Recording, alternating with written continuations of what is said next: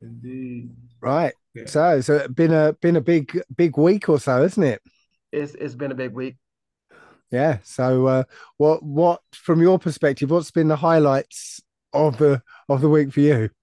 Uh, I mean, certainly the fact that we're seeing some uh, we're seeing a lot of the things of the those who are being hypocritical, the nations, uh, the United States and his stance, uh, very hypocritical point of view, and also we're also getting to see some of the traitors towards the uh, towards the Palestinian people. For example, Erdogan trying to present himself as though he's fighting for the Palestinian cause, but what he's doing in the back end, he's actually sending all the necessary equipment, etc., food and other things that's necessary for the survival of those who are killing the Palestinians.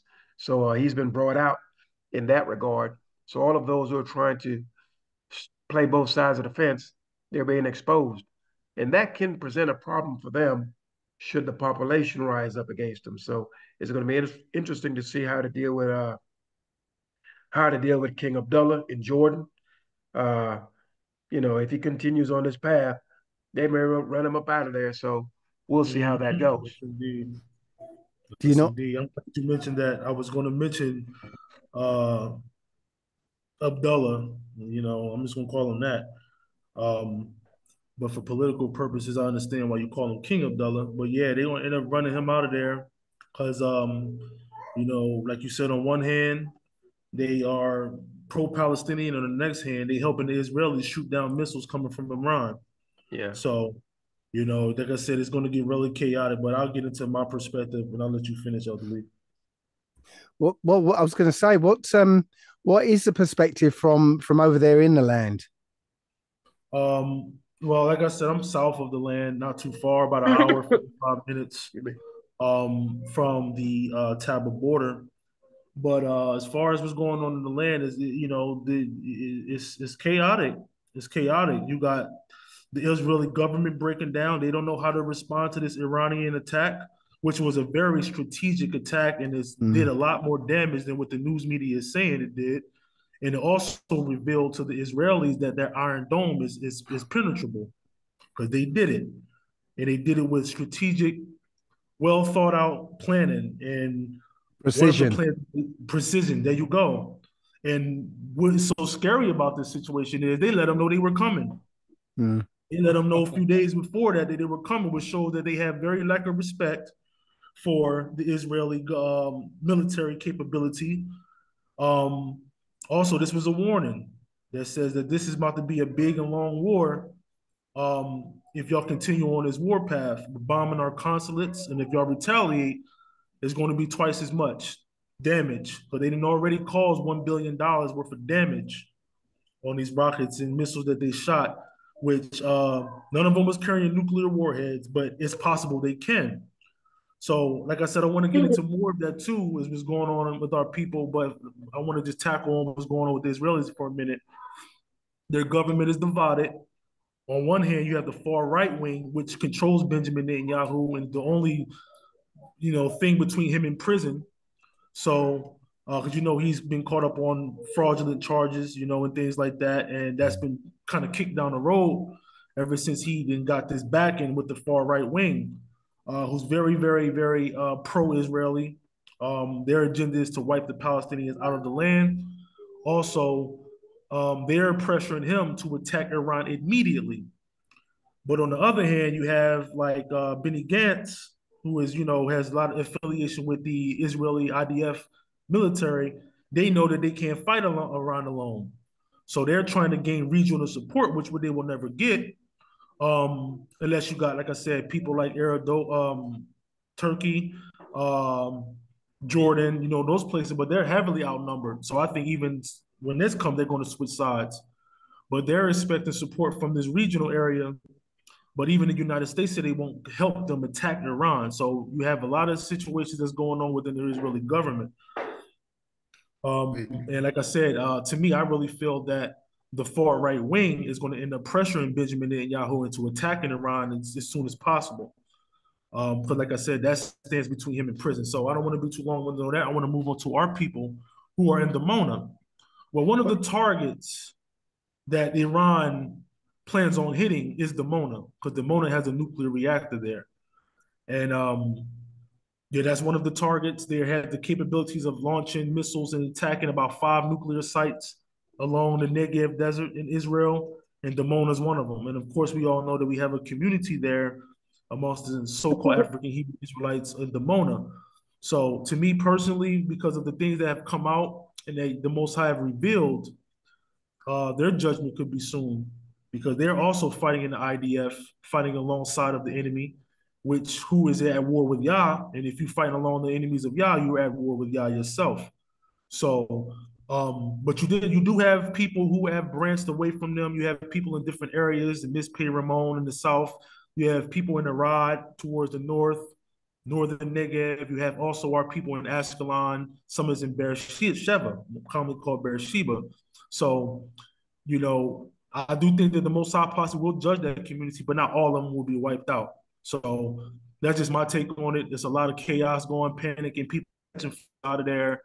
And to me, that's just prophecy on its way to being fulfilled, where they will be run out of our land and judged in their land.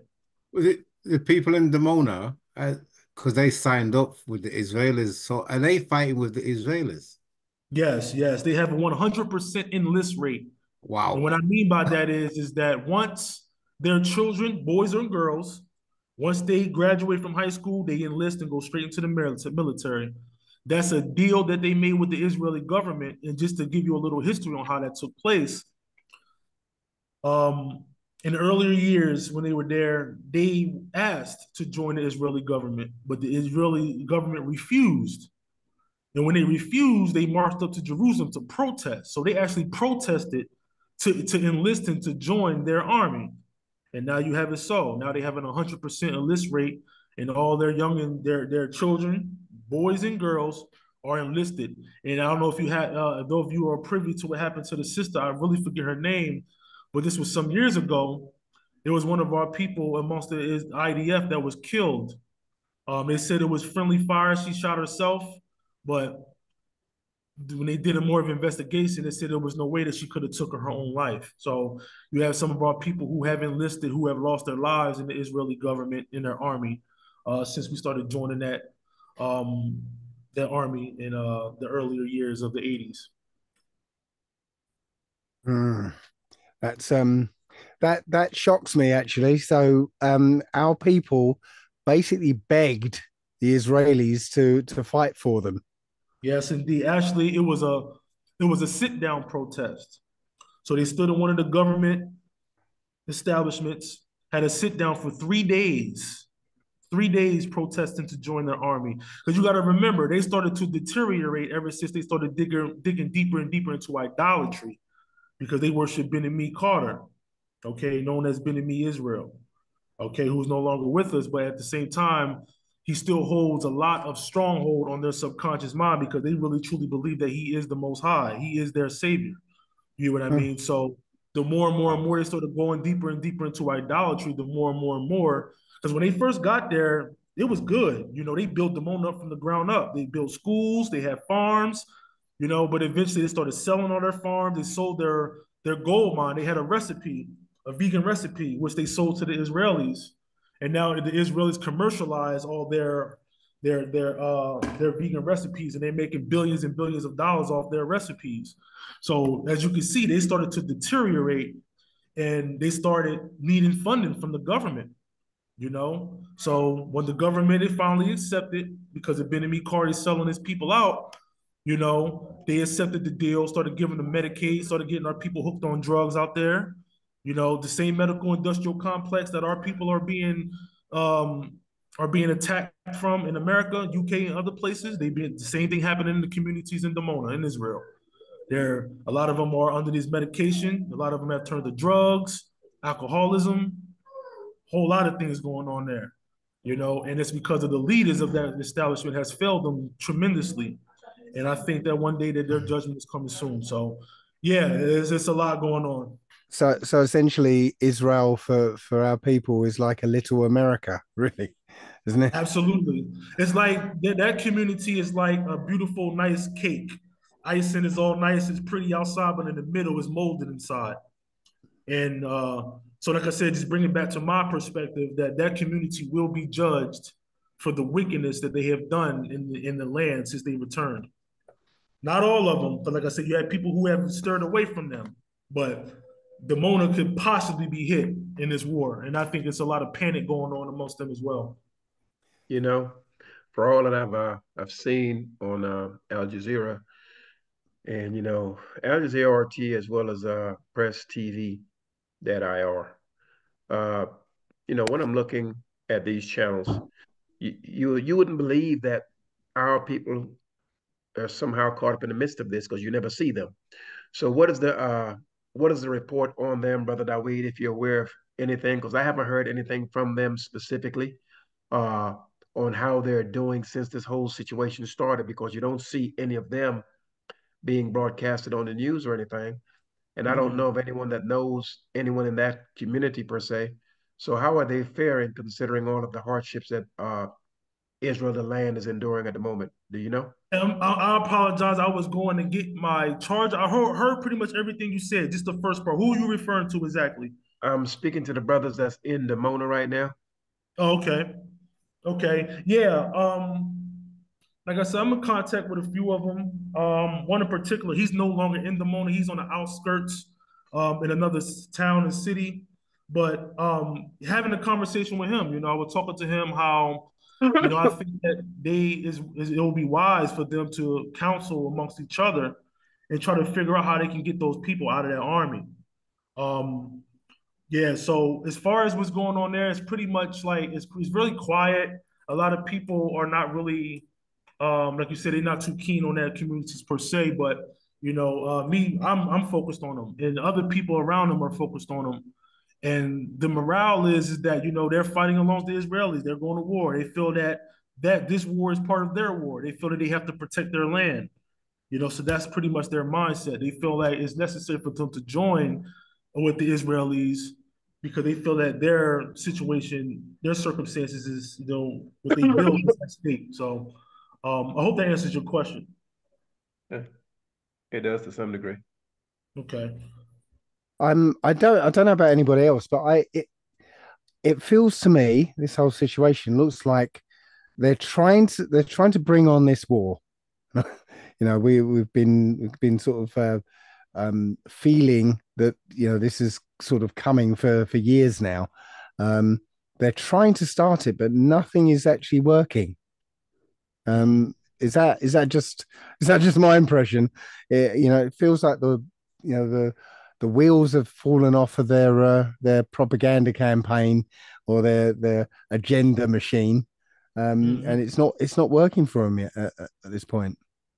Yeah, absolutely, I agree. Yeah, you know, it's they, they kind of they got caught up in the web. You know, it's been so much going on. You know, the situation with Gaza has really kicked this off. You know, people really started seeing these people for who they truly are. They always knew about the occupation you know, but to, for them to be in there bombing indiscriminately, like basically an attack on on the civilians, may might as well say. But let me just give y'all um, some truth of the matter. The, the Israeli army is getting a behind kicked. Okay, they're getting their behind kicked. Um, you know, the media's not going to put it out there, but they have lost a lot of soldiers. You know, going up into Gaza. Um, Gaza being equipped with a more high power arsenal from Iran and through, through the you know the, the, the channel that they go through. Um, yeah, it's it's it's bad. But like you said, uh, Elder Dave, like it's revealing them for who they truly are, and it's revealing other countries as well, like the United States, Britain, and all those who are still supplying um, the Israelis with these weapons. The whole world is seeing them for who they are now, and uh, even the people amongst them. Truth be told, it's a civil war going on in the midst of Israel between mm-hmm. the civilians that they don't talk about. They might say it every now and then with the protests, but there's a very, very, very strong divide amongst that uh, society nowadays, you know. And um, even when talking with the brothers from Dimona, you know, I was telling him basically he was saying that they support Israel and they support Palestine. I don't know how they can do that, but um, he was saying basically support both sides. At one point, you're gonna have to make a decision you know, and uh, as of right now, they're choosing the side uh, of the oppressors. Yeah, but all the world's seeing the Israelis what, what they're actually doing. Everybody's waking up. It's only the government, like in America and in, in the UK, what's supporting them. But the people, most of the people, don't support the Israelis. Mm-hmm. You know, right? No. on matches and things like that. so, Dave, how, how, sorry. Go Brother Dave, on your point, uh, as far as them trying to bring this war about, you know, the evangelicals are and the, and the Christians are thinking JC is going to come through the sky to save them. They're expecting the rapture, right? So, but here, here's how I see this. We know that rapture is a bunch of nonsense. However, uh, as far as them trying to bring it on, I think I think these nations are doing their best not to bring it on. They're fighting to where, hey, look, let's just try to keep the peace. How can we work this out? Because the ramifications of any type of fighting is going to be drastic and, and world changing. And so they understand clearly. I mean, you're dealing with Iran. They're going to shut off that Suez Canal. They're going to shut down the Red Sea, the Mediterranean. There's going to be no oil and gas and all the other resources moving back and forth. That's going to cripple the U.S. economy. And plus, you're looking at uh, the BRICS simply moving away from the dollar. I mean, this is just a way of having this place fall on its face. And before it falls on its face, it will pull the guns out. It's really that simple. So uh, I'm thinking they're doing everything that they can. I think the Saudis are, are, are begging and trying to make sure nothing happens. So are the uh, so are the Turks, etc. Because it's a financial thing for all of them, along with the Chinese and the Russians. They have to have this uh, natural gas and these oils and different things in order for their economy to continue to run. So to have a shutdown of that, and plus be committed to war, which is another expense, that can cause some problems both at home and abroad. So they're trying to kind of keep this thing calm but I'm thinking it is my view that the Most High has appointed you at this place at this specific time, and you will be there. So uh, they may be trying to avoid all types of, hey, how can we negotiate and try to keep the peace? But it's not going to work. Mm-hmm. So, so from from your perspective, what um, or from the perspective of the book, um, what what are what are we expecting then? I'm I'm looking to see for me now. This is just me. Uh, my eyes are on the Golan. I've always felt that the Golan Heights are very important to, to really to, to kicking off of all of this from a serious manner. So when I'm start seeing some firings and little activities going on in the Golan, I'm thinking that okay, things are getting ready to to kind of kick up a little bit, or, or, tensions are getting ready to increase, and it has, and it will continue to. I'm hearing that uh, the Russians have now established uh, some units in the Golan Heights as well. So uh, I mean, we'll see how this goes, but I'm thinking this cannot be too far away. But I'm thinking all the things that we are seeing right now, these are just the preparatory commands, so to speak. These are things that's preparing us to get ready for what's getting ready to come because it's going to be it's going to be life changing the way we move about right now. I mean, I can go to work. I remember when uh, 9/11 took place, and when I went to my job, all of a sudden you had to stop, open up your bags, open up your coats, et cetera, et cetera. It was kind of uh everyone was on their on their P's and Q's. I'm thinking that these the Muslims, period, and the Arabs, I mean, they're all over. They live everywhere. They're in all of these uh, Western nations. I mean, a war like that breaks out, and and all of a sudden you can't get on the bus like you normally do. Going into your job may change. Getting on a flight may change. I mean, these people are already in the midst of us for those for them who may want to do us harm. So I'm speaking about us, the respective Western nations. So uh, this can get ugly both at home and abroad. And so uh, I'm expecting this thing to get worse. And uh, Iran is going to be a big player in the game. Iran has been there since biblical times, and and when it's all said and done, Iran is still going to be there. Right, but s- still, call me naive, but uh, I still think um, all we need to do is get enough popcorn to see us through. Yeah, yeah, yeah. It's, it's, it's, it's, it's getting interesting for sure. Uh, a lot of people are nervous and really don't know why to be nervous, and many don't know what to look for. But then again, there are many of us that do. Like I've stated in the last few videos, there's many of our men now that's actually standing up, speaking in righteousness. However, I'm still seeing the vast majority of people they're all about uh, everyone has been really excited about the black JC nowadays. So yeah. So I mean, so anytime we we seem to be headed towards the light, they always come up with something to make us kind of stand there and think, do I want to go to the left or do I want to go to the right? So it seems as though as soon as we are, are on the right track, here comes something to make us kind of reconsider, well, do we want to go this way or that way? And I think this black JC situation is something similar to that. Yeah, because even so, the, Pope, the Pope's coming out and uh, Putin and so they seem like they're all basically all together. Oh, we have to push this next agenda to get yeah. people confused and get back get them back into the church. Elder Lee, you mentioned something big, like you were talking about, you know, the money situation, what all this is going to cost. And truth be told, to answer uh, Elder Dave's uh, question, I think he was saying that the Israelis want this war or not. And that is one of the reasons why they don't want the war, because just now it cost them a, a few billions of dollars just to shoot those rockets down that Iran has shot. It only cost Iran a couple a couple million. So that right there, and, and Iran has plenty of plenty of arsenal because they're getting us from Russia at a cheaper price. So to me, that's one of the reasons why they don't want the war with Iran. But on the other hand, like I said, they're being controlled by the far right wing who wants to try to establish the vision of being us. They are the people who's really trying to make it a full Jewish state. They have they're in their mind that they're, that they're going to partake in building the temple of the Most High in Jerusalem. They're trying to establish this thing. So they want to do an ethnic cleansing of the Palestinians, you know. So they want that war, but I don't think that they'll be able to handle a, a multi-front war at this at the moment, especially once the U.S. starts pulling their protection back. Because I think to me, you said it was the Golan Heights, but my person, for me, it's Iran.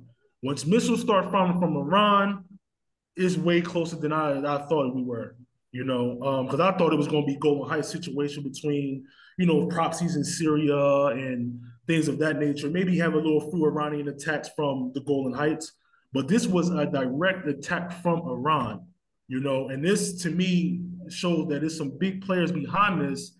And in order for Iran to have been okay to do that, they had to get some okays from the big boys, Russia, China.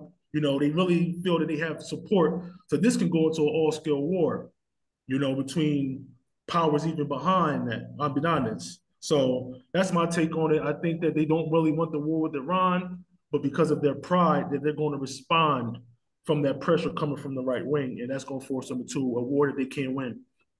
But, but then, why would why would the Israelis bomb the the what's it? They bomb the consul? Was it the consulate, the embassy? Oh, yeah. I honestly don't know. Why yeah, would they do that? have no idea why they did that. Well, their their their their whole rationale was that the high level officers that were part of the uh, the Revolutionary Guard, they were actually in that building, and they're the ones that will facilitate and doing all of the logistics to ensure that the rebels, you can call them the rebels or the resistance, uh, making sure that the resistance were able to uh, to be well funded and ensure that all the weapons were delivered to who needed to get them. They're pretty much the liaison to ensure that all the men in the field uh, were properly properly supplied.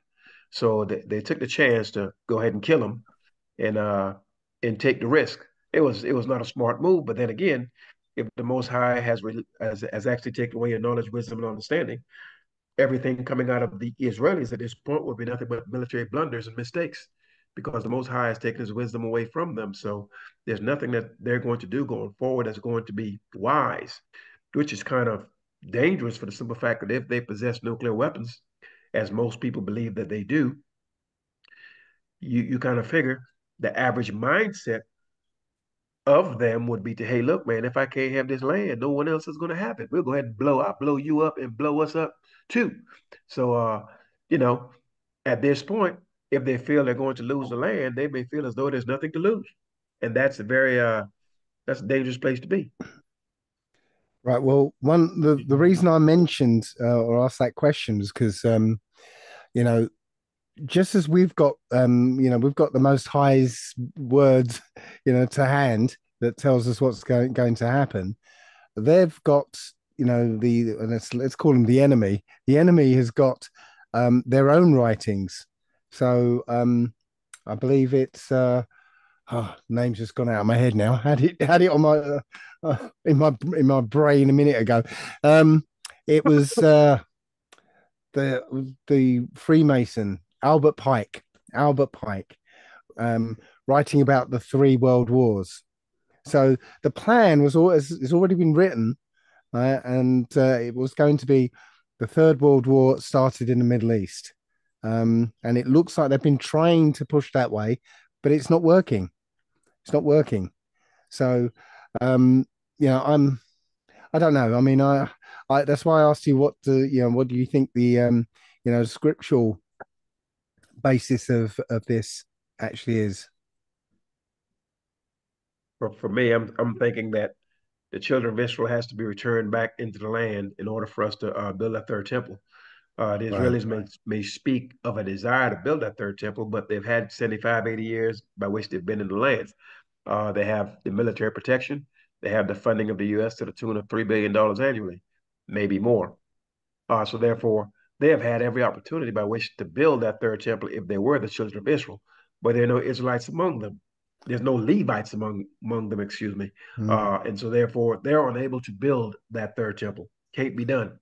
Mm. Uh, and they've got the red heifer producing factory in in yeah, Texas, haven't they? and, and, and, all of that nonsense. so I mean, right now it is showtime. Uh, there's a few things that has to be brought forth to everyone. Uh, either A, they're right, or we're right, or we're both wrong. It's going to be one of the two. Okay, but our people, we're accustomed to hardship, etc. If we're wrong, then all we have to deal with is the fact that the European has murdered, slaughtered, and, and slaughtered and enslaved us all over the earth, and we've just been militarily defeated, and we do not have any armies or any cohesion in the midst of ourselves by which to take them on. So we're just gonna have to take this kicking. That's just the way that goes. Okay. It's either that or our strong one is going to deliver us like we believe that he will. So it's going to be one of the two.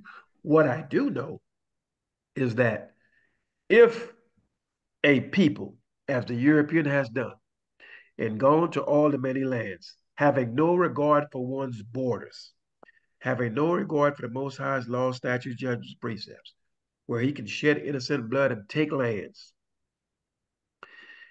If he's allowed to keep these lands in peace and continue on the path that we have been on for all these centuries, then I don't know what to say. I don't see where that is. I don't see where that is the reality. I so so therefore someone has to step in and stop him. We're unable to we see that this is not right what he has done. And there's no way in the world that the earth can afford to continue on such an unrighteous path. So something has to be done, and it's going to be drastic. Very drastic, very drastic. And um, from my perspective, like I said, as far as we are prophecy wise, this is the, the, the time for Esau's judgment. To me, everything has been shaping up, and it's for like just like we saw it was. It was supposed to come out. That's how it's happening. You know, um, so like I said, their time is up, and eventually they will have to pay for all the wickedness that they have done over the centuries. And uh, yeah, so all return energy returns at some point, and this is the time where their energy, their wicked energy that they displayed, has returned back on them for tenfold. Well, I'm still seeing the wickedness unfolding. I mean, I I was just reading about um, um, the euthanasia being rolled out all over the world. So essentially legalizing murder.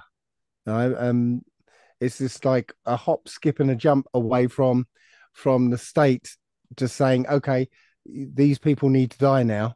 Um, we call call it euthanasia, but these people need to die. Um, so yeah, I'm I'm seeing I'm seeing an escalation in the wickedness. Um, which which would in, indicate that we're you know we're speeding up towards the end. So yes, there is an end that I think is very near because uh, you know the the world cannot continue on this path of um, escalating wickedness.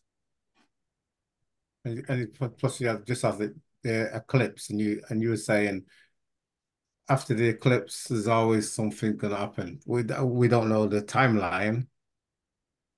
It's a warning. It's a warning. Um, and uh, you know, I'm, I'm I might have been absolutely wrong about uh, about April eighth because um, I I saw I saw a lot more than there actually was in there. But I, you know, I'm not a prophet. You know, I've never said I was. Um, but it is a warning of something. Um, so I, I, think the next uh, the next over the next year is going to be very interesting indeed. Interesting in the the Chinese curse sense of the word. Mm-hmm. That's it. You know, I'm looking to see something that you said. Uh, go ahead, Elder. No, go, go ahead. Go ahead, brother. I was just saying, but one other thing I do agree with you, uh, Elder Elder Dave, is uh, what you said earlier. Kind of just getting your popcorn ready, um, because this is not. This is just the beginning of something much more, more, more major in this region, and it's going to spread through all over the world. Because after this, the way I'm seeing it, the way I envisioned it, uh, the Israelis are going to lose this war terribly in the in, in, talking about in the worst way, um, because they have all they already been defeated and they know it. Like I said, the the the strategic plan, the strategic the strategies that Iran has is to is it, it counteracts everything Israel tries to do, and they are in a place where they know they can't win this war. Um, they was basically putting their trust in something which they thought was unpenetrable, but it found it was penetrable. Um, and uh, like I said before, they are scrimpling, scrambling for that. So, but after this, I think there's going to be another big war between two fractions of Islam, the Shiites and the Sunnis. And that's going to bring Iran against Saudi Arabia. That's going to bring Iran against um, places like Jordan and all that type of thing. So it's, it's, it's, going to get it's going to get ugly in this region from as far as my eyes can see and the way that things are going. You see. Why do why do you believe that? Because Sunni against the Shias. The one in Egypt, uh, the Egypt, uh, they I, I don't know if they are Sunni or Shia. I want to say they're majority Sunni. Yeah, majority Sunni. The reason we got to remember this war has been going back. Shadow Wars has been going back, dating all the way back to the early 2000s, um, maybe even before that. But you know, you always had this type of beef going on, you know, between these two fractions in this area a lot of your um, uprisings, like the things that happened in Iraq, you know, that was a changing over between Sunni and Shia. So that caused a big problem there. They just these two fractions have always been going to war, and I think that, um, like Elder Lee mentioned, this is a major route for trade. The Suez Canal, with the Israelis really trying to build another canal going through the Gaza Strip. And I think, like I said, I think we talked about this before. If not, I may have been talking about it with somebody else. But I think that's one of the main reasons why they want to exile all the Gazans so they can take that land over and build their own uh, canal going to from Europe to East Asia. So this is a major, a major. This land right here, Israel, is a major key uh, to what goes on around the world, pretty much. Um, so I think that you know, once the Israelis are out, these two fractions are going to be fighting for power in this region. You know, it's going to be open season. Uh, and like I said, the two big boys, Saudi and Iran, I think that, you know, in their proxies and their alliances, you know, now they might be in agreement, but like y'all said, ain't gonna be no peace. He, he's raising up like a man of war, so he's going to divide all these people up, and that's how they're not gonna be able to touch the apple of his eye, which is his people. So, so the Iranians, they are Shiite. They, they, whatever they are, they're different from. I, I, they're, they're Wahhabis of thinking. They're they're Wahhabis of thinking they've got like a different thing going on over there. Ah, okay. Yeah, but like I just know that they're different from Iran, and that that's going to be the problem. So this is going to escalate to something bigger. So we've also got, um, you know, on the horizon, yes, assuming that we are close, we've also got the Day of Vengeance. You know, that's that's supposedly coming. It's got supposedly coming soon, should we say? I'm not saying supposedly coming, because the Most High says it's coming, so it's going to be coming. Um, so, how close does anybody think we are to that? Uh, I, I, don't even want to speculate, but I, you know, I don't want to speculate on that. But I, I tell you what, uh, my view is that we just we the, the land needs to be cleansed. Uh, it has to be cleansed for us to go back there, because the Israelis certainly not going to let us back in there. Mm. Well, that, well, that's if that that that if that is our land anyway. We don't, we, we're not hundred percent sure. The land What's of Canaan, the Israel where, where it is now, is, is that the real land of Canaan? We don't, uh, we don't know. Well, I, sure. I don't, I don't see a contention for any other land. I don't see a contention. One brother was saying, "Oh man, the land is in the Philippines." I don't see any contention for that. They say it's in Africa. I don't see, see nowhere where any land is contested like that in Africa.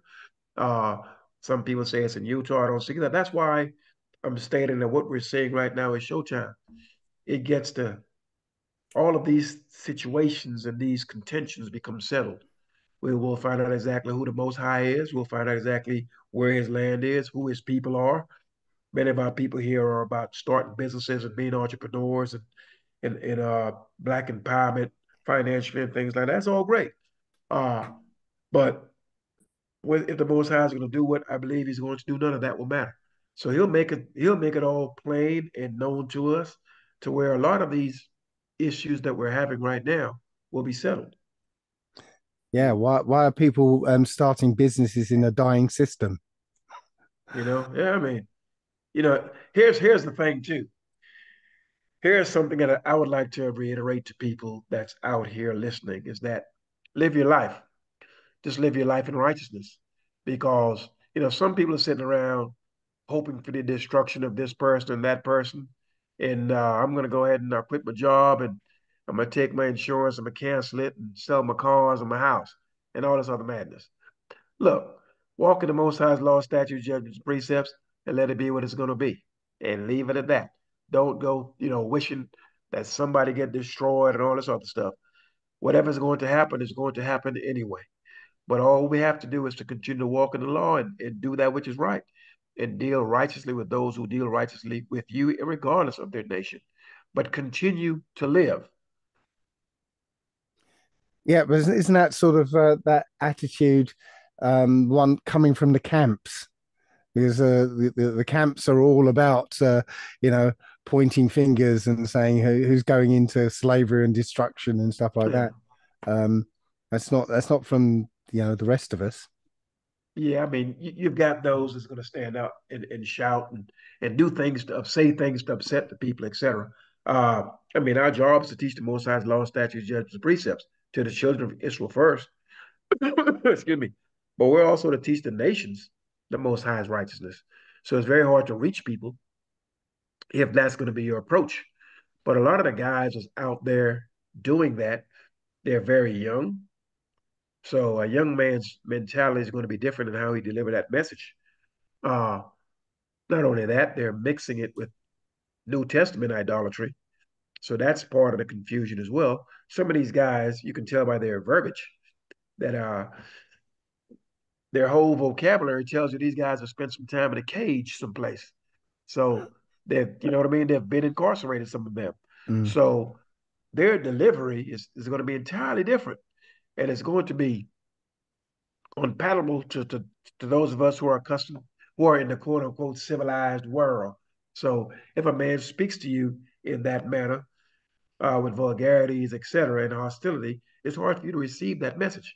Mm. So uh, we're to keep in mind that a lot of these men are young. Some of these men like I like I said by their vocabulary, you can tell that they've been incarcerated, uh, and so their perspective is going to be very much different, and they're they're they're moving in idolatry as well. So, uh, not the best person to bring forth the Most High's law, statutes, judgments, precepts. And to be clear, I don't have a problem with someone who has been in the system, so to speak, and have reformed themselves. But we have a lot of grown men who have been in the system so long that's all they know they talk and move as if they're still in the system when they're free. So uh, you're going to have a lot of that, but I would like to think that a lot of our people are smart enough and they can use discernment uh, uh, and know exactly who to listen to, who not to listen to. All right. Well, you know, I I made I made a kind of uh, I guess foolish prediction of uh, April eighth as um, you know as a, a, kind of second Exodus. Um, but the thing, you know, leading up to it, the, the thing that sort of struck me is that um, our people aren't ready for an exodus yet. Um, you know, we're we're we're kind of all over the place, really. So um, even if the exodus was uh, even a year from now, I don't think our people are ready for it. Um, I, so I'm in two minds because I I feel like this the second exodus is close, but I'm also recognizing that we're not ready yet. A, a lot of us not even most of the Israelites not woken up yet, and if they are waking up, they're going to the New Testament as well. So it's yeah, but we've got we've got this idea that um, uh, once we once we leave, um, that's when the rebels will be purged.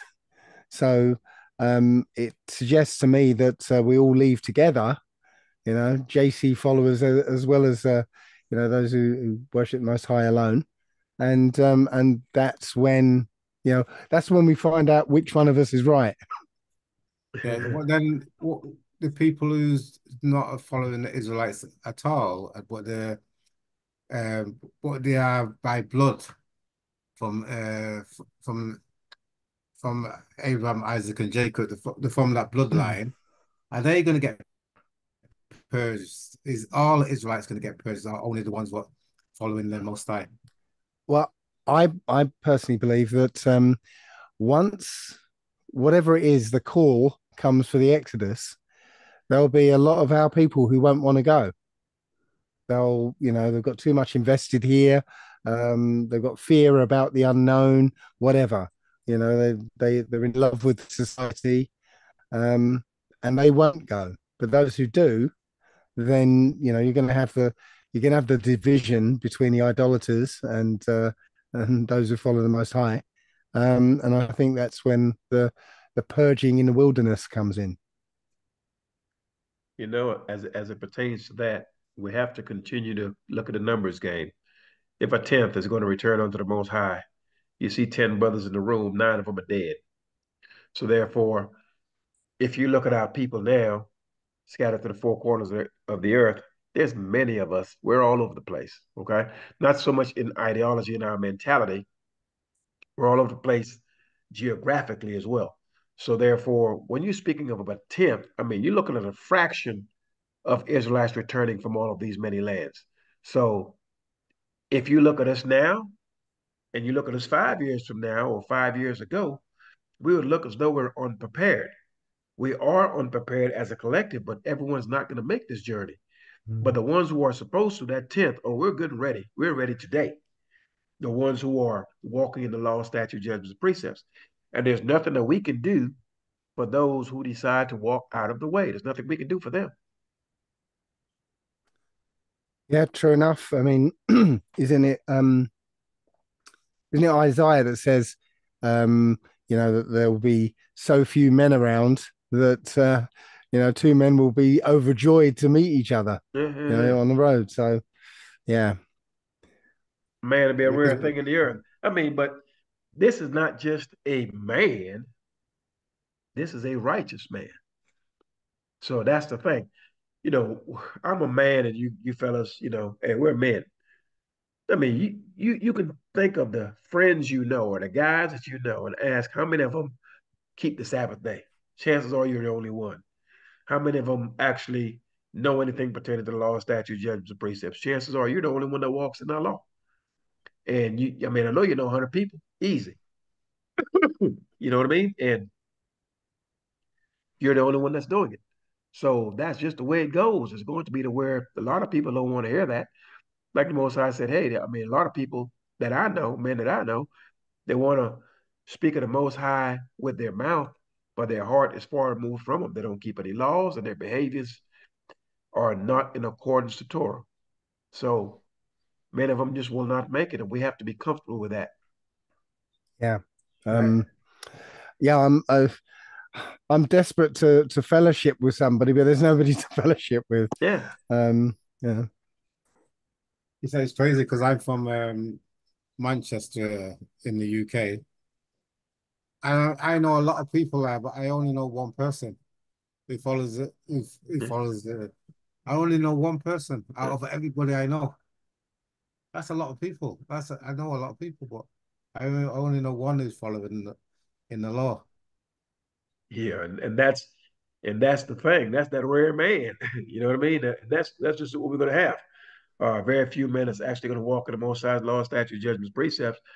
And like I've said, we've got to get comfortable with that.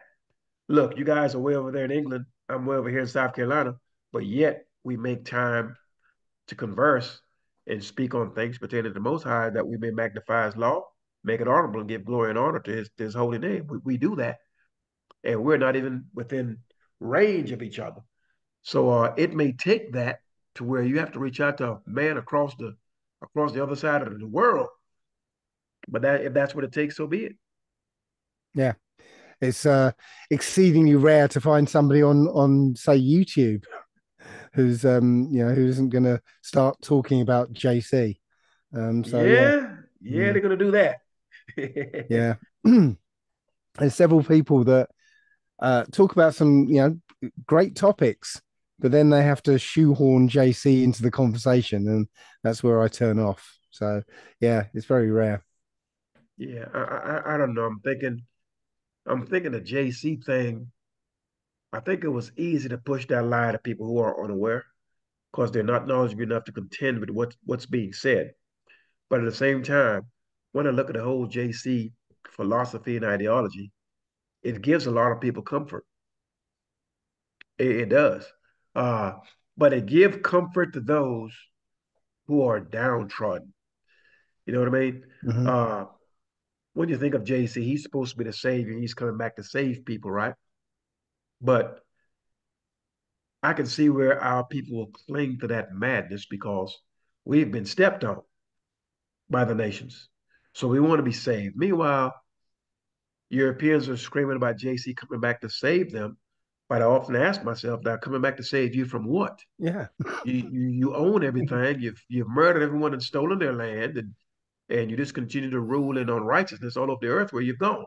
So who coming back to save you from what? And to save you from whom? There's no one oppressing you.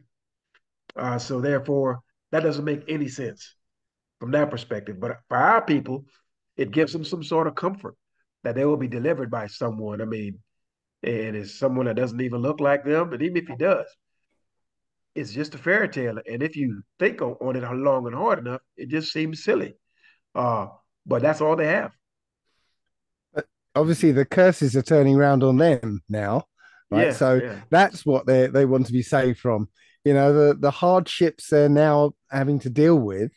Yeah. Are, are, far too much for them. For us, it's a Wednesday, but for them, yeah, yeah, it's yeah, uh, you know, it's it's tough. So yeah, that's what they want to be saved from. Um, but there's also, um, uh, you know, there's the aspect of fear because along with this idea of, you know, sounding um, comforting, there's a fear of not following him because you know hellfire and uh, yeah, lake, yeah, lakes of fire. Yeah, yeah, yeah, yeah, yeah. And that, that goes both ways. Tell me a lot about people are about that, about oh, you're going to hell and and all of this nonsense. But once again, everyone that I've come across that's speaking that type of stupidity are those who have just not read the book. Mm-hmm. I mean, you've got to be some kind of crazy to read the book of remembrance.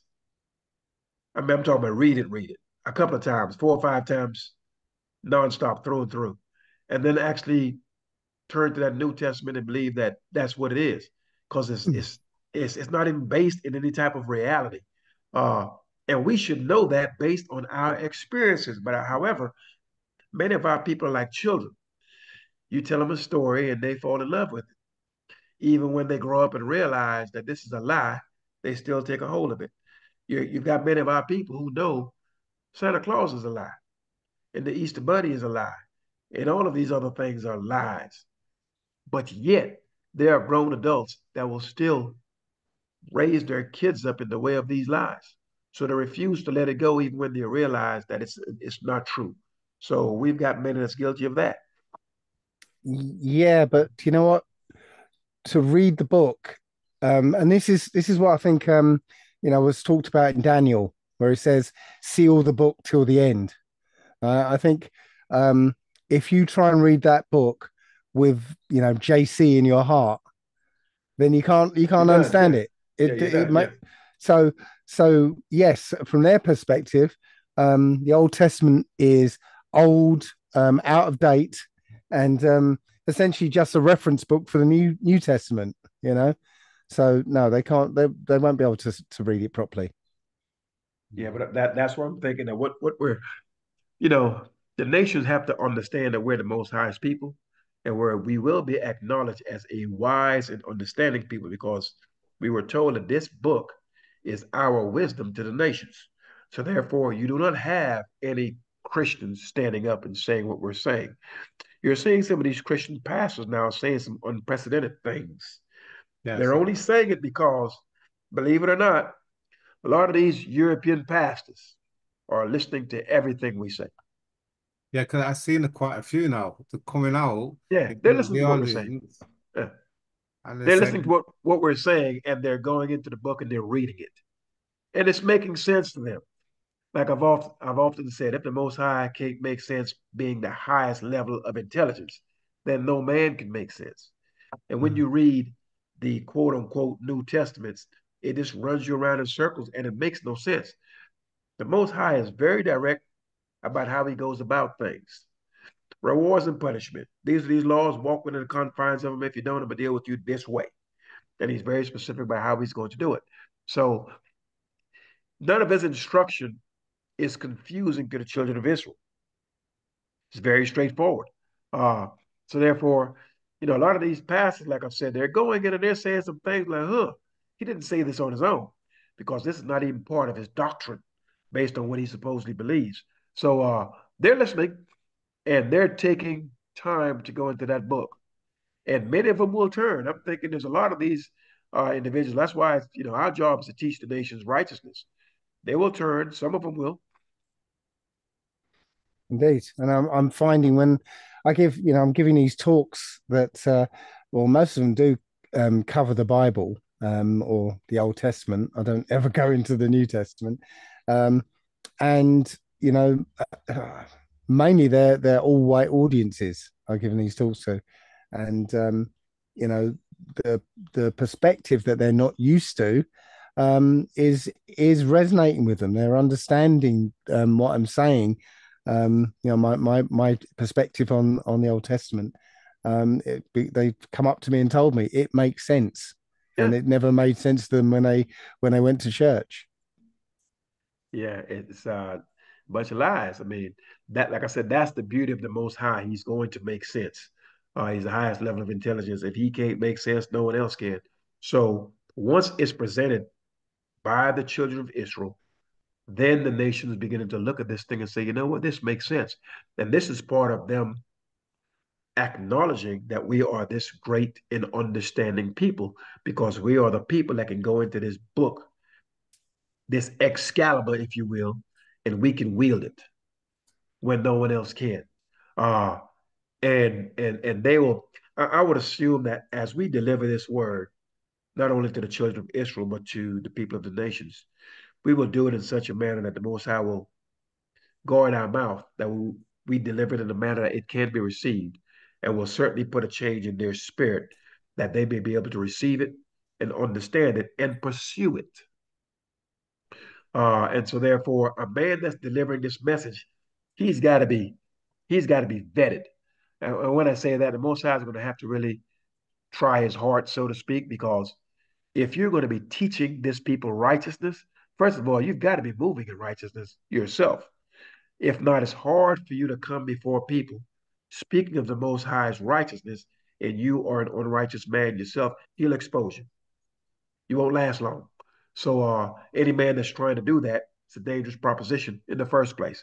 But I think people will be able to sense your sincerity, and they will go into that book and validate what you have said, and they will see clearly what this makes sense and that may incline their heart to walk after it. Yeah, it's quite funny when I uh, when I started waking up to uh, to to the, the uh, Book of Remembrance. Um, I started talking about it, and um, a, quite a famous um, Christian started having a go at me because he said, um, "How is it you think you know what uh, what this book says, um, after what three at the time three years of reading it i've been reading it for 40 years. Yeah. uh, um, i think i directed him to and i can't remember what psalm it is but uh, you know the, the, psalm that says the most high gave his word and understanding to israel yeah and, yeah yeah the children of israel yeah. He's not he's not dealt so with any other nation. That's yeah. the one yeah. Yeah. Yeah, yeah. and what, what was his what was his response after that uh, there was no response. You know, yeah, he's, he was, hmm? I said there can't be any. What can he say after that? yeah, yeah.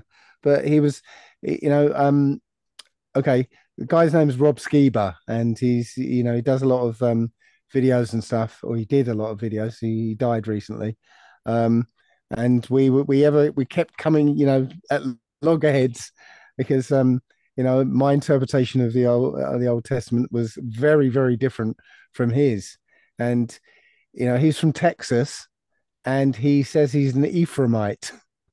And oh, um, okay. I was trying to say, well, actually, I don't think you are an Ephraimite, to be honest. But you know, it's possible, but I don't think you are. Um, yeah, so um, his his contention was that I can't possibly know um, very much because I've only been reading it for three years or so at the time. Yeah, well, you know, with a lot of these these other people, a lot of our enemies, they don't care if you've been reading it a thousand years. Their whole premise is that I'm more intelligent than you, and you are not as intelligent as I am. Uh, and mm-hmm. they don't care if you're older than them or younger than them. So this is just normal behavior. But what I do know is that the book of remembrance is the one book that empowers the children of Israel, that where it strengthens us as a family. Under those rules and guidelines, those are the only rules by which we can get along with each other. And those that those rules are the only rules by which we can get along with anyone else in the nations. That's it. Plus that, that's it. Definitely plus agree. You got all the other books as well. Uh, Jubilees, Jasher, you got all so many. You've got the other books, what people can relate to, to towards the Book of Remembrance. Yeah, I mean the other books. I mean, look, I don't have you know many people read up the other books, and I, I don't have a problem with whatever anyone reads. The bottom line is is that for us to get out of this mess, we got to turn to this law. And, and that's and as long as we can agree to that, to hey, look here, man, uh, you're not going to try to lie, steal, murder, and try to covet another man's goods and lay down with his wife and lay down with children and do all these other foul things that the Most High has laid out. These are just foul behaviors when you look at them. Lay down with your uh, with your son's with your son's girlfriend or with your son's uh, with your son's wife or your brother's wife and these types of things. I mean, a lot of this stuff is just straight up foul when you look at it, uh, and mm-hmm. it makes sense to anyone that's thinking. So, in regards to what someone may read, if we can just say, you know what, hey, look here, man, we got to stick to these laws. This is the only thing that's going to bring this family together. And the only way that we're going to come under the umbrella of some type of commonality with these nations, they will have to follow it too. But keep in mind, they would have to turn to it because if we look at the behavior of the nations, they have gone around the earth murdering people and taking their land. That's just what they have done. Now, this whole Israeli situation, in my view, this is the last stand of the European in in in Israel right now, because this is the end of this circus. You've taken this circus where you and your people have gone around throughout the land, throughout the earth, murdering people and taking their substance. And this is your last stronghold. The Arab man was the toughest man for him to conquer. Did it to the Africans, did it to the Chinese, to the Polynesians, to whomever else. But that Arab man and his Islam has been strong and has been a thorn in the side of the Christian, aka the European. And so this is his long, this is his last stand. This is his last outpost, his last colonial outpost. And once this is uprooted, he could stand by. They're cousins, though, aren't they? Essentially. I mean, who is this? you know the the the um you know Muslims and the and the Europeans they're cousins aren't they well they're, they're not too they're not too far off because when I'm looking at when I look at a quote unquote an Iranian right many of them to me they look like Europeans like regular Europeans many of them look I mean I grew up with some Indians I know what an Indian look like a lot of them look like Indian men uh, mm. the men from Afghanistan and places like that, they look like just Indians. Uh, and I want to say a lot of them speak Farsi in Afghanistan. So I'm thinking that there is some type of connection between these people. Uh, however, it's it's it's going to be broken up. Our families were broken up. So whatever kind of conglomerate they've got and agreements that they've got, as far as them coming together in cahoots in Psalms 83, the Most High is going to break up those agreements as well. But I would not be surprised if you run their bloodlines and it's very similar because the man in, the man that's sitting in Iran, he looks like a European to me. Well, yeah, you know, if you if you look at, I'm sorry. Oh, I'm sorry. Go ahead. No, no, after you. Okay, I was just saying about living amongst these people. You know, in the area that I am, I'm at right now, it's not so much that they look like them; they act like them too. They have very similar characteristics. You know, very similar, similar characteristics that that barbaric, animalistic type of behavior. They display the same thing, you know, like I said, and most of them are Is When you look at the history, they do have ties to Euro Gentile uh, descent um, deeply rooted. Arab just means mixed people, so they're mixed with a bunch of other things, and, uh, and often nine times out of ten, part of their bloodline is also mixed with Euro Gentile, according to my studies. But you know, you only have to look at um, India and what they call the Aryan invasion. Yeah, so um, you look at North India and you'll see the Caucasian looking Indians, and, and going yeah. south yes. And if they're you look black. at they're, they're black, they're us essentially. But if you look at the um, the caste system, right? You know, you you you got the Brahmins at the top and and the untouchables at the bottom. But if you if you look at them all sort of um, laid out, you know, with uh, examples of of each caste, you'll see a color gradation. It goes from the white ones at the top and then it goes all the way down to the to the black ones who look like us at, right at the bottom. Yeah so um so yes the the mixing you know is is real to make a to make a hierarchy the same hierarchy that's uh, you know the western world has, has put everywhere pretty much. Well we've uh, we're, we're at the bottom of the barrel in all of these nations. These are the types of things that as the most high said he's going to raise us up in the midst of these nations, we're going to be given honor and praise. That's before we leave here. So it has to be made plain to all the nations exactly who we are while we're still in it. That's before we even leave. So uh aren't you seeing that in the media? Aren't you seeing that in the media though? Um that where you know there are black faces popping up in in adverts everywhere. and every, everywhere. yeah. So don't you think that's a kind of shifting towards that time?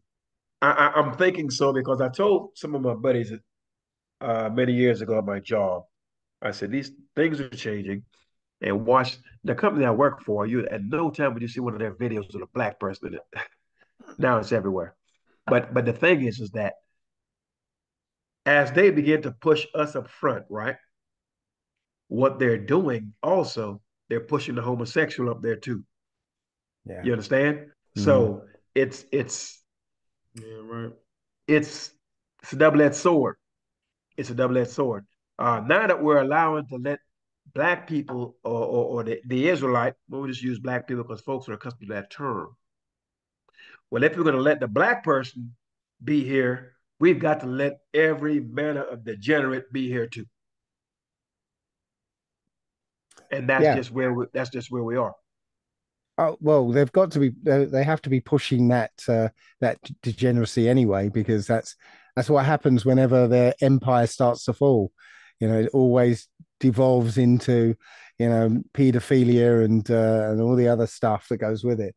Um, so, I, I, I, perhaps yes, you're seeing all the, the homosexual parts going in there, but perhaps that's that's part of the push to to um you know put our faces out there um, as you said, we we're going to be recognised as as who we are.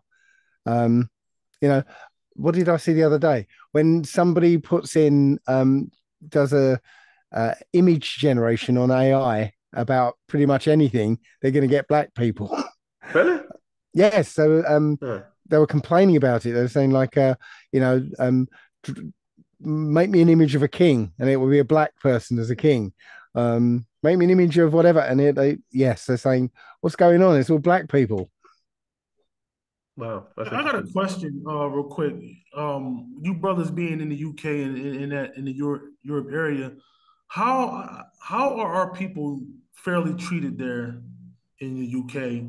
I'm not talking about the thing because it seems like it's the same thing going on in America. Like, you know, they try to push down and try to suppress the oppression of our people and the only thing they'll show you on the big screen TVs is your rappers, your stars, and all this type of stuff.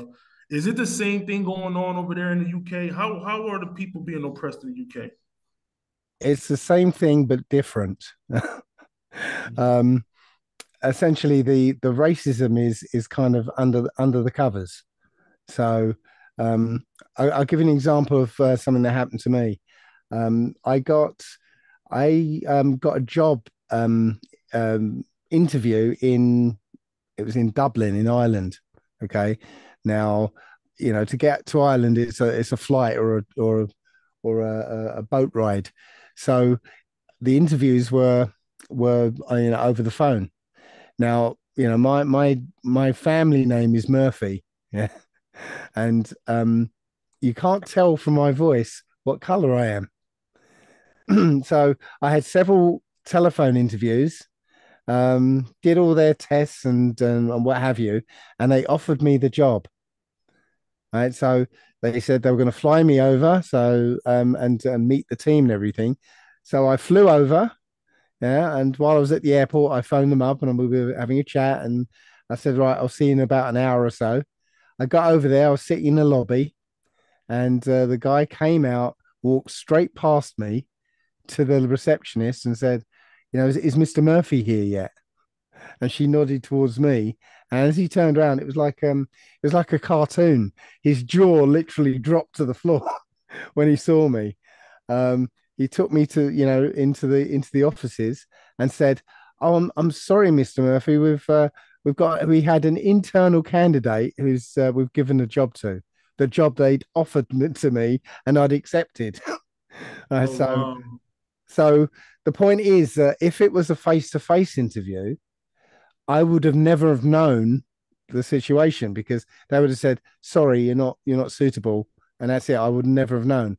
But because of this, you know, it was it was very stark that that's what's going on. Um, but that's that's what what happens. It's not up front like it is in America. It is all undercover, and uh, you know nobody's talking about it, and so it doesn't exist. Hmm. Real quick, also, do they do they have a like a redlining system amongst the uh, you know in, in, London and places like that as well, where they pretty much entrapping all the the so called you know the the Africans, Americans or African Europeans, whatever you want to call them, into these ghetto areas. Is this similar to that as well as far as the United States?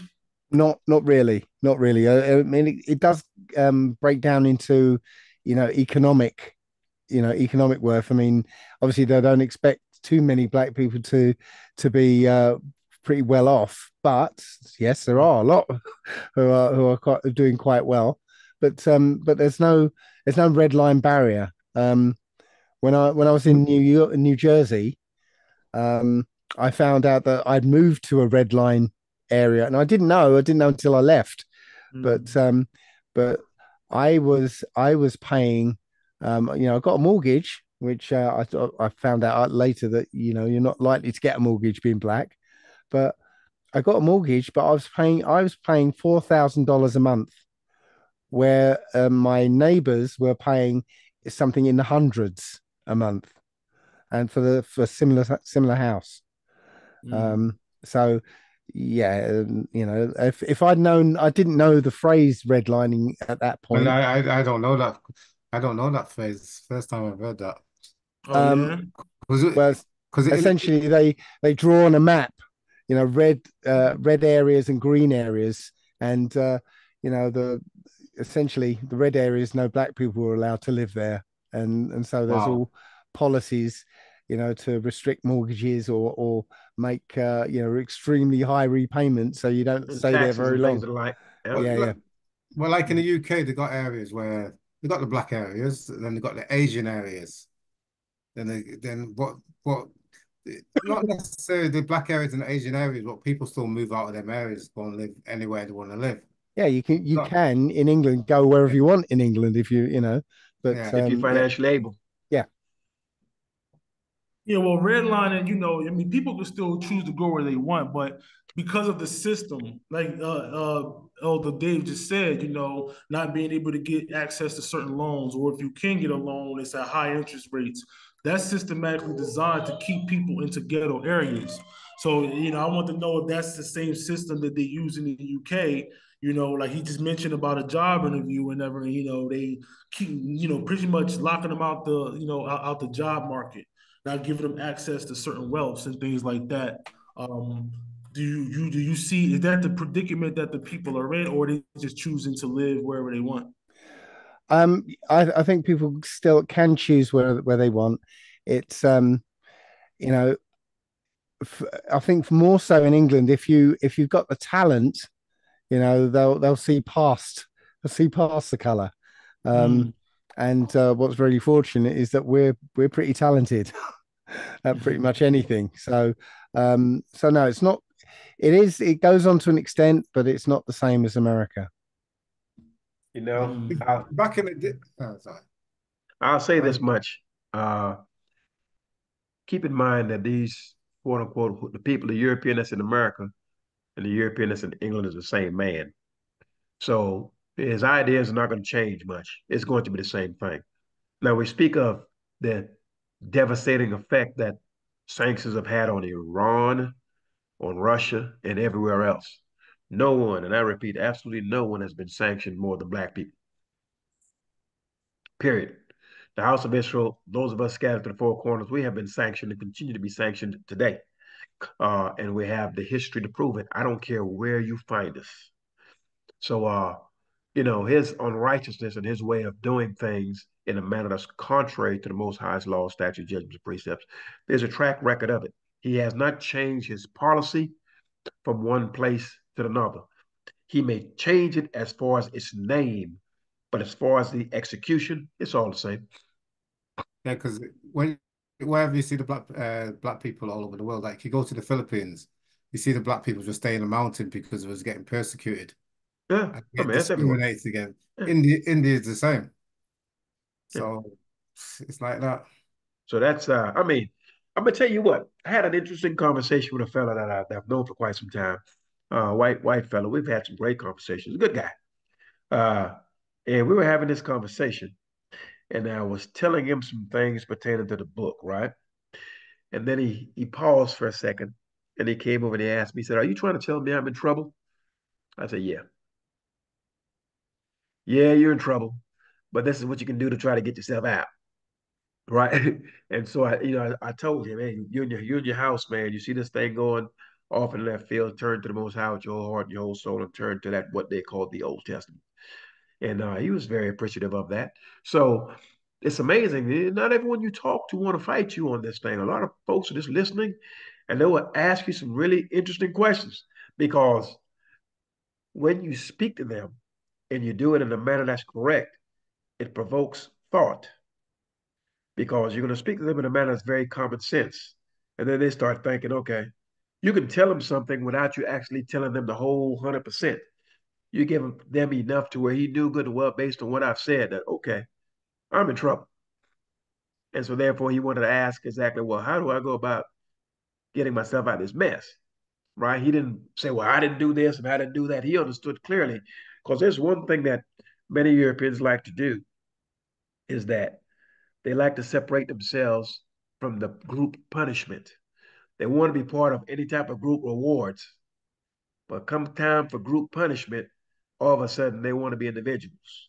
Well, I didn't do this and I didn't do that. However, when the uh, when the when the spoils are being handed out, they don't have a problem sticking out both hands.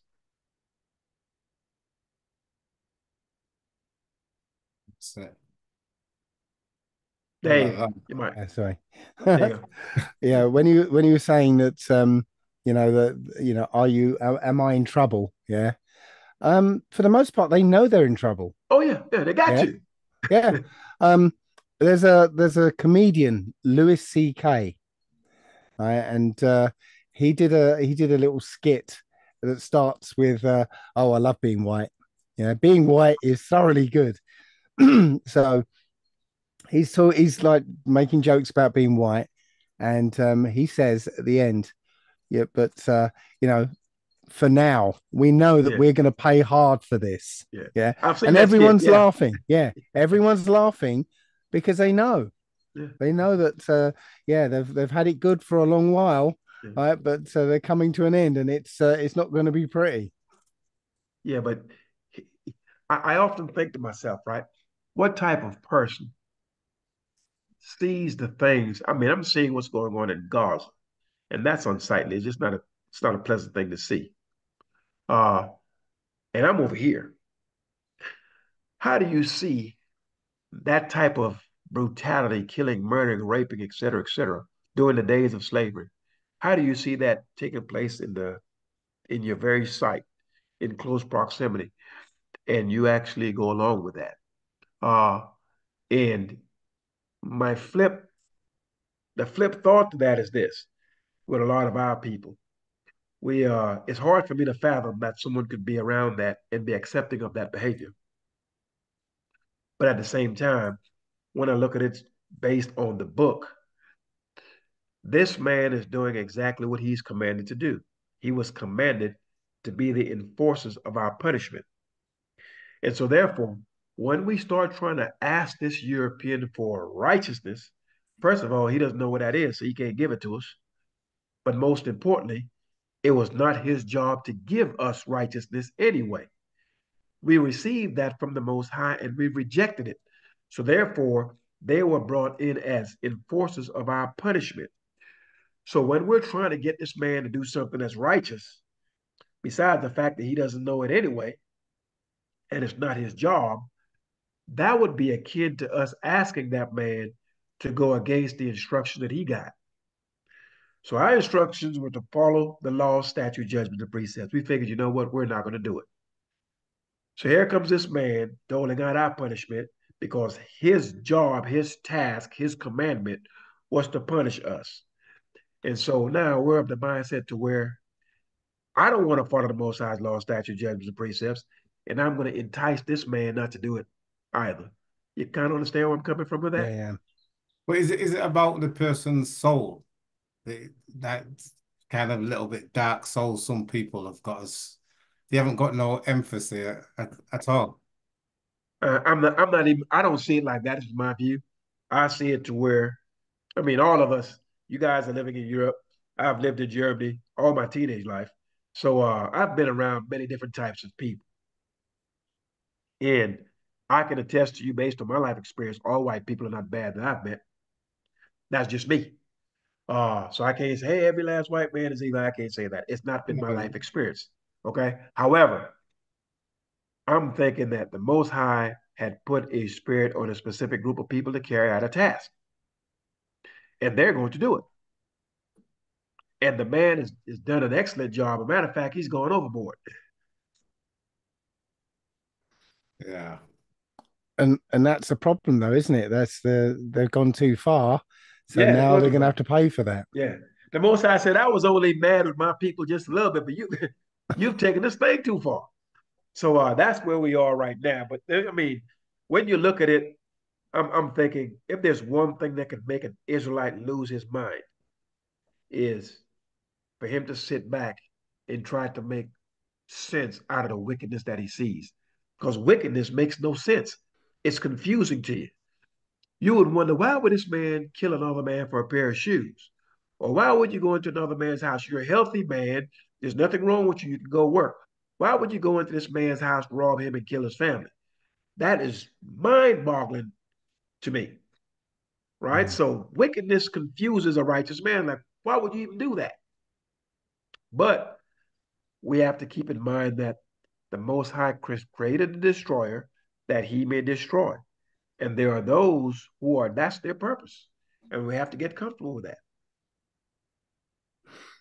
Absolutely. Absolutely. and um, as I said, I'm waiting for, I'm trying to wait for this day of vengeance uh, because um, there's some extraordinary things, according to Isaiah, extraordinary things are going to happen, like the return of the giants. Um, I can almost see that happening, actually. I don't know about you guys. Return of the Giants. I don't.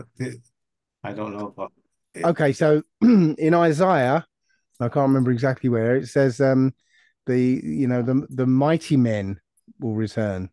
Oh. Um, and when you look at the in the same passage in the Septuagint, it basically says the giants will return. So mighty men is a um yeah a, a synonym for giants. So yeah, yeah. In the book of Joshua, they call them a mighty when they when they was fighting against the mighty men. Yeah. Yeah. So um, I don't know if you know what I'm talking about, Lee. Brother Loweed. Yeah, I'm over here. Got, I got, I got baby issues, man. My, my little one is. I don't know if you can hear it, but yeah, she. uh Yeah, yeah, yeah, I'm here though. I'm here. Okay, this checking, this checking. So, this Giants thing. A lot of people are talking about the Giants. I, I, I mean, Brother Eli has spoken about the Giants. Look, this is just me talking. We've been delivered before. No Giants needed. Uh, so, you know, if that's going to be, I guess I'll see me one big old giant or two. All right. so, so, so, but for me personally, I'm not looking for some giant to come out here and bust heads. Most High is going to have men bust each other's heads. You know, in times past, he's had one man pull out his sword against the next. I mean, the Most High doesn't need this. Is just once again, this is me talking, right?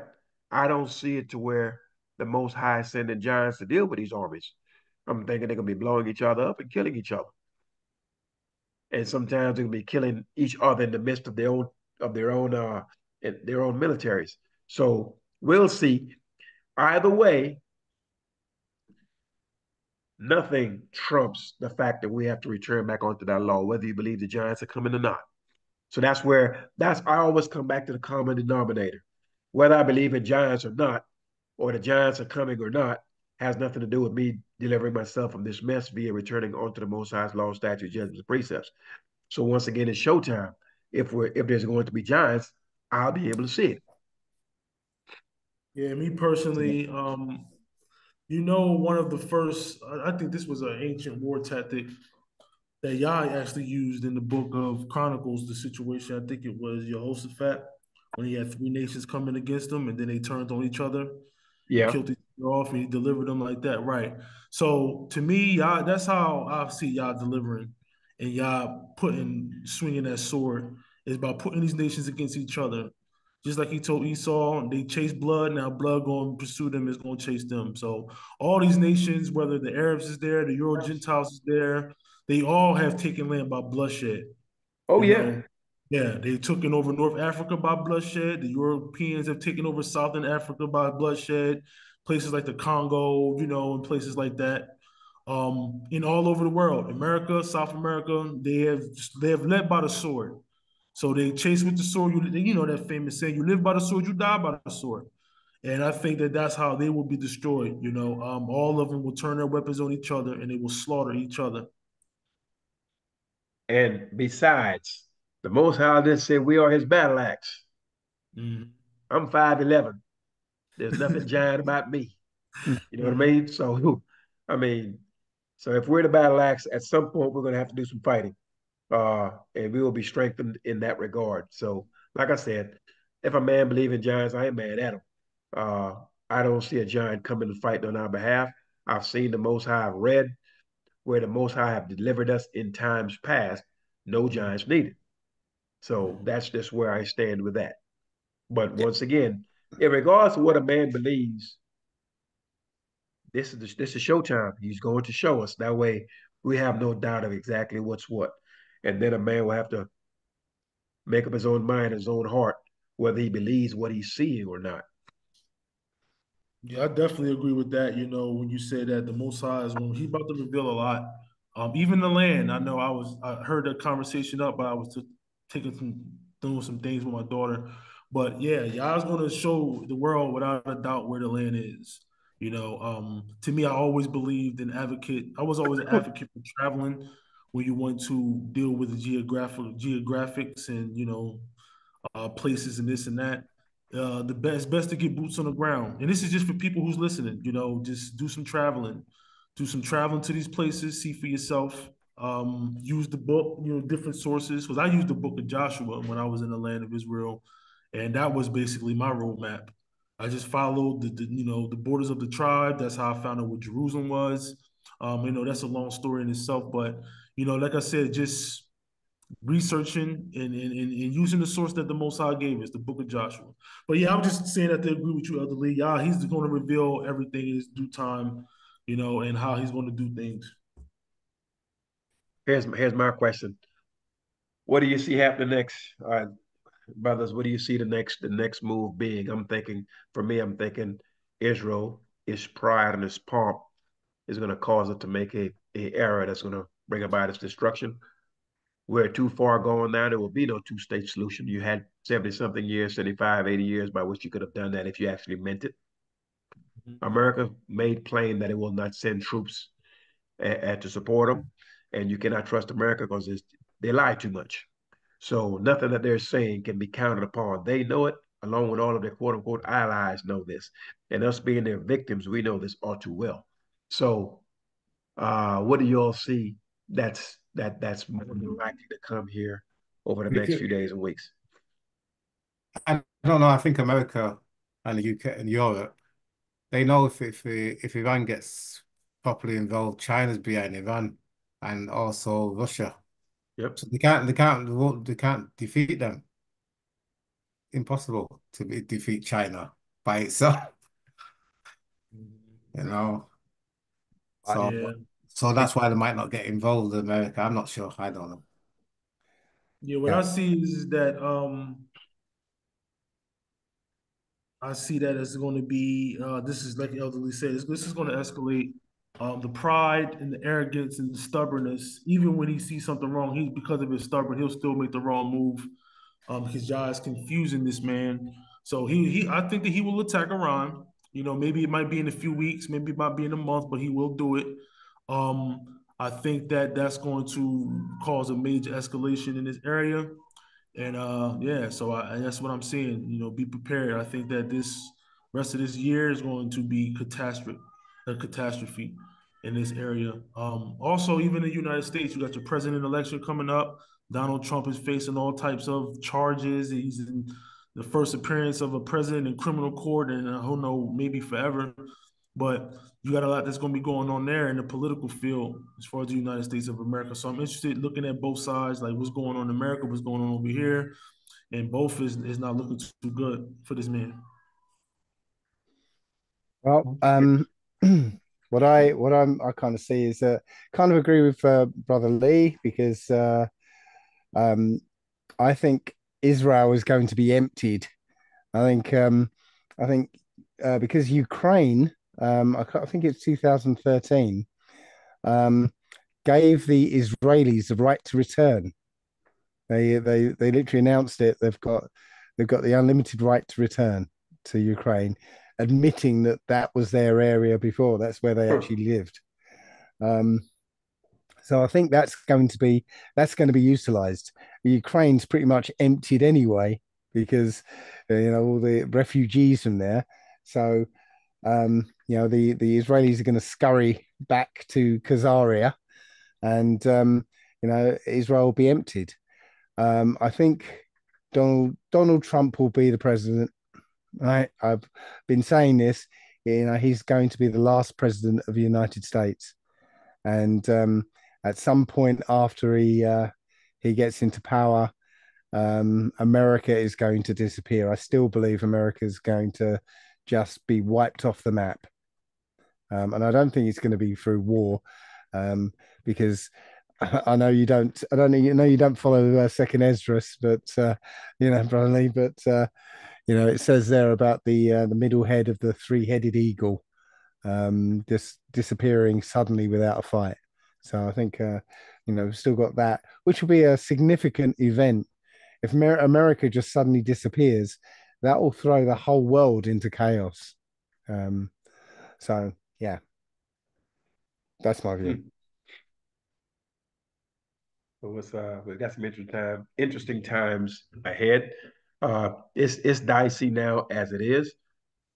We're, but you know, not only we're seeing what's going on with these Muslim nations, we're seeing exactly who's selling out the people, but the cleansing of the land of Israel, it's got to be made plain exactly who these Palestinians, who these people are as well, because there are many different types of Palestinians. So we're seeing that judgment is being brought upon them. That's what's happening. We can't look at this any other way. Uh, we'll also see exactly what the judgment will be on these quote unquote Israelis, because many of them have already come back to the United States, and and many of them have already returned back to their respective European enclaves. So they've returned back to these many different places where they're from. Some of them are still holding the line, and some of them are actually we're seeing now for the first time ever where the earth is turning against them. Uh, popular opinion has changed. Uh, I want to say South Africa is actually presenting legislation to punish those who return from fighting there, because many of these uh, Israelis have left America and have gone and joined the IDF to fight. So uh, we're seeing nations now coming up with some form of legislation to punish them uh, and to kind of restrict this dual citizenship that many of them hold. So we're seeing some unprecedented moves as it pertains to people of the nations speaking up against the Israelis, as the book states that they would. Absolutely. The book definitely mentions that, you know, everybody will know them as the borders of wickedness, and it's yeah. being revealed for everybody's eyes. And that's uh that's that's certainly what we're we're seeing right now. Uh but like I said, the, the run out is going to be interesting because once they run out of that land, like I said, the the multi-billion gazillion dollar question is still going to be, well, man, we we have bankrolled these people. We have, you know, we've told the whole earth that they're the people of God, and uh, this is a bad deal. This is a bad bet. Now it's not them because they've been ran out and killed. Then who is it? And I think that's where, you know, the fear will come upon them to where they they're not going to know what to do. Yeah, that'll have to happen soon. I think that happen yeah. soon. Yeah, I mean that's yeah. uh that's I, I would I don't want to be the guy to to find out that I've been spitting in the face of God's people. I don't want to be that guy. No, that's, that's not going to be good. Yeah, I don't want to be that. No, let me ask you a question real quick. I'm sorry. Go ahead. You was talking. Go ahead, brother Dawid. Go ahead. I want to ask you real quick your perspective. What do you think is going to? Do you think that these Israelis who are, because a lot of them are now fleeing the land, through airplanes going to different lands. Uh-huh. What do you think their mindset will be once their um, brothers in the land get run out and judged? How you think that they will finally admit that they're not Israel, or you think they will continue to push that narrative? Here's what I think. Matter of fact, not even what I think, what I know. I think they know from jump that they're not Israel. That they, they, know that. They're just playing along. Look, if you go into the land of Israel, Israel is very, very similar like America. You have a conglomerate of different types of people from mm-hmm. different nations, quote unquote, different countries. You have some straight up Asian looking people in there talking about they're from uh, the tribe or whatever, right? You have some Africans that's in there saying that they're from the tribe or whatever. You've got people from Argentina. So here's what I think Israel really is it's a colonial state, simply no different than America, Australia, and anywhere else, where some Europeans go into the land, put some Europeans in there, open up the doors wide, and tell all the other white people of the earth, come on in. Uh, and so therefore they know exactly who they are. But it's beneficial to play this we're the children of Israel or we're the people of God in order for them to get these benefits. However, when it's when the benefits run out, they will change. They will change course. And like I said, a lot of I, am thinking a lot of these Ethiopians that's been taken into the land, right, and have experienced all this uh, sterilization, et cetera, et cetera. I don't think they're the children of Israel. No way. I think you got a bunch of your a bunch of uh, people that were sitting in the land in Ethiopia that said, you know what, I can get out of this. I can get out of this this this poor state that I'm in, all I have to do is say I'm XYZ, and I'm going to be taken to this quote unquote Western world, this colonial settlement, and my life can be better. And be, I'm thinking the punishment you're paying once you get there when they did all these foul things to you is because of you had the nerve to pretend to be the children of Israel in the first place. So, so you think the Hamites? I'm thinking a lot of those people in that land are there. It's an opportunistic grab. Wow. That's what it is. Hmm. I'm, I'm in this in this third world country. I can scream that I'm a Jew, and I can get in this land, and all of a sudden, my my class, my status can be elevated. Yeah. I mean, so who's not gonna who's not gonna go for that? But mm. there's a price to pay for it. So I'm thinking that's all you've got. But once the gig is up, then everyone is going to be able to admit, yeah, I only did this because I wanted the benefits. And uh, as they start seeing the body bags, and as the earth starts changing its sentiment towards them, it's it's it's not going to be a shocker to them because they already know this. Okay. Um, chaps, I'm going to have to uh, head out in a minute actually because uh, I'm I'm running out of power. Okay. Yeah, I'm here. I'm gonna get ready to go get out here too. I got this baby. I'm doing the best I can with her, but yeah. So um, it, it's it's been fabulous talking to you all again as usual. Yeah, um, and uh, um, I hope to catch up with you again very soon. Um, it's good to hear all, your perspectives perspectives on all this.